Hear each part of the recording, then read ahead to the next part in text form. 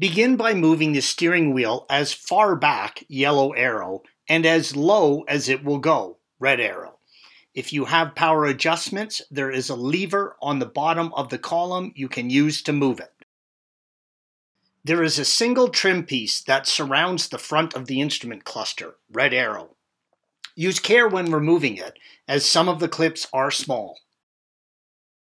Use your trim removal tool and gently pry the top of the trim piece downwards and out while pulling it out from the sides. There are two small clips that sit in the vent, red arrow.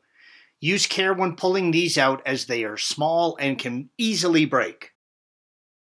Remove the trim piece from the top, red arrow.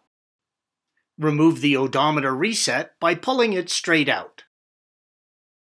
Use a long-handled T20 Torx and remove the four Torx screws, red arrows, holding the cluster in the dash. Over the years, the sun and gravity will cause the dash to settle. Take your time and carefully remove the cluster from the dash by tilting it down from the top and then removing it. There is a single electrical connection on the back of the cluster on the left side. Push in the tab on the back, red arrow, and slide the gray hinge upwards. This will push the connector out of the cluster. You can now remove the cluster from between the top of the steering wheel and the dash. Installation is the reverse of removal.